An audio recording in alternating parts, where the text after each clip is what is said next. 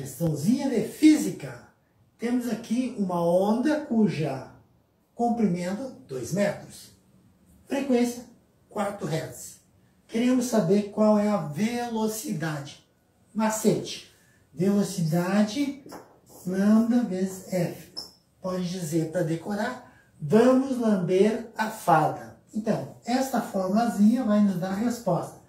2 metros vezes 4, 2 vezes 4, 8 metros por segundo, porque é uma velocidade. Aí está então.